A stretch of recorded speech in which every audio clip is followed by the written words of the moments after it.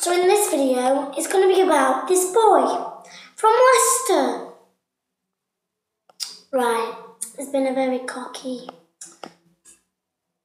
They don't know really how to describe him. He's a terrible person. So, let's just start. So,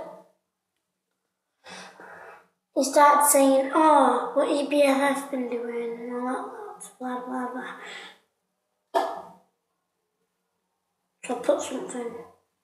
So now, I'm to text him on Twitter and tell him to shut up and get that fat bum outside.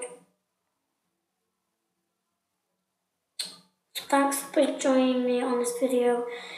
Um, plus, he says that no one loves me.